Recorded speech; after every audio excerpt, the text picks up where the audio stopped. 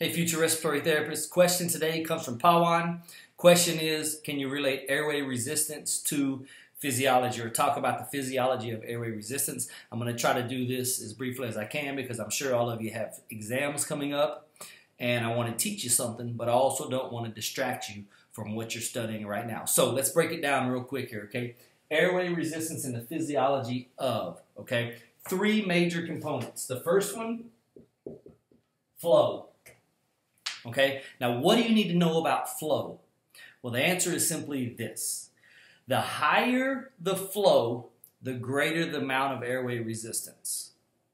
Okay, we'll say it again. The greater the flow, the higher the airway resistance. If you ever have a patient on a mechanical ventilator and you can play with flow, then I challenge you to adjust the flow, turn it up to 70 or 80 your peak pressures will go up, your plateaus will stay the same. That's the first por portion of the airway resistance formula, right? Airway resistance formula, PIP minus plat divided by flow in liters per second.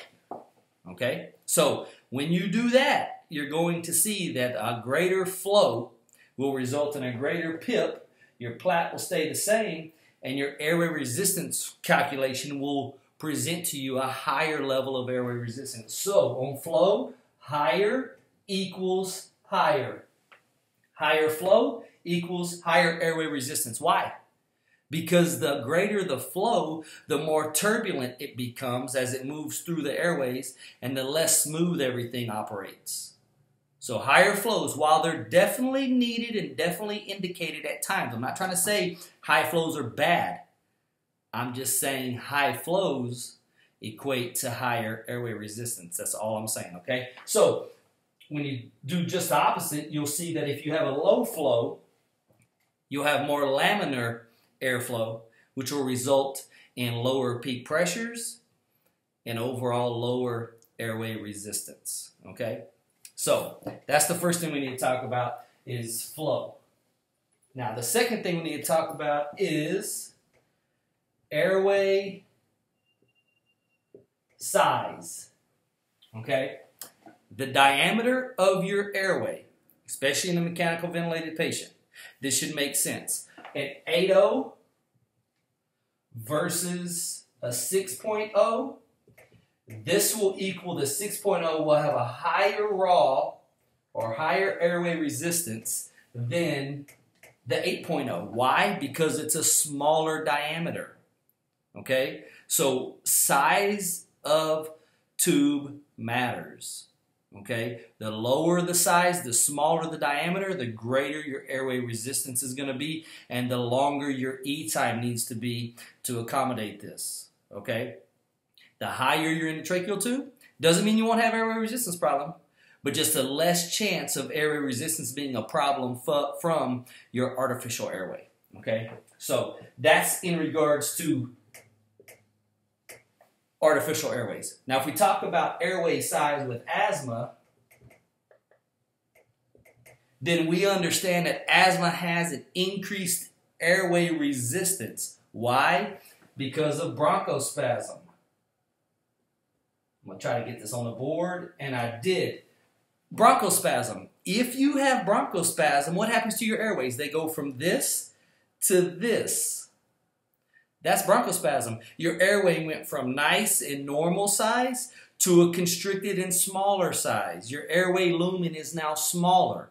It's the exact same thing of taking an 8.0 out of a patient and putting a 5.0 endotracheal tube into a patient you would experience the same difficulties in gas, uh, in ventilation and moving gas because your airway resistance is now higher.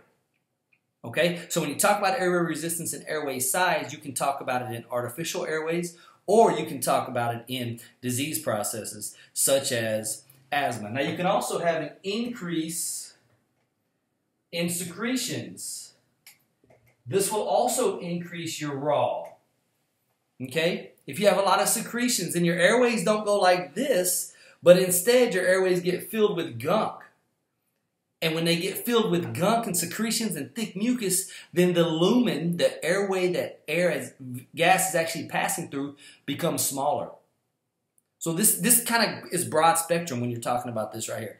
Bronchospasm, decreased airway lumen. Secretions, decreased airway lumen. What about a patient who has a nice big endotracheal tube but they're biting on the tube? Did your, does your tube get smaller? Does your airway get smaller? Yes. Does your airway resistance go up? Yes, absolutely. What about a patient with a um, a tumor inside an airway in some area? Does that decrease the airway lumen? Yes. Does that cause your airway resistance to go up? Yes. Why? Because your airway size has now gotten smaller. So decreased size equals increased raw. Okay? And then the last one we're going to talk about is length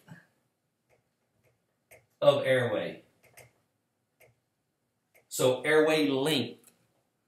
Okay, now what this comes to is talking about trachs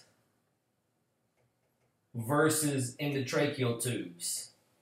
If you have a trach patient with an 8O trach versus a patient with an 8O endotracheal tube, your patient, everything else constant, your patient with the endotracheal tube is going to have a higher airway resistance because their airway is much longer. That 8O endotracheal tube is much longer than that 8O tracheostomy tube. Okay, so that kind of should make sense, right? So, airway length, if it increases, then you'll get an increase in your raw. Okay, let me tell you a little something that I've learned throughout the years. A little trick that is not a cool trick. I've seen patients put on automatic tube, I've seen respiratory therapists put automatic tube compensation for a patient who they're trying to get off a vent they have, let's say they have an 8.0 endotracheal tube. Okay? And no, I'm sorry, I'm sorry. Then let's say they have a 8.0 tracheostomy tube. Okay? And we turn the tube compensation on and we set it to compensate for a 6.0 endotracheal tube. Now, the automatic tube compensation automatically, based off of the tube size you put in, calculates the amount of compensation to overcome the airway resistance of that artificial airway. So you have an 8.0 in the trache- uh, 8.0 tracheostomy tube, but you've set the tube compensation to compensate for a 6.0 endotracheal tube. And the patient looks amazing. And you know why? Because there's too much compensation happening. Because the vent is trying to overcome for a lot of airway resistance from that 6.0 endotracheal tube, a super small tube and a very long tube. When the patient actually has a decent sized tube and very short. Okay? Does that make sense? Now, what this does is give you a false presentation of how your patient is actually doing. Because when you go, oh, they look great, let's do trach collar trials, and you start doing trach collar trials and they fail immediately, it's because of that false tube compensation that was inputted into the ventilator. And that's not cool. Don't fake something just to make a patient look better during your shift because that becomes the next shift's problem. Okay? So, to wrap this up, Airway resistance tied to physiology.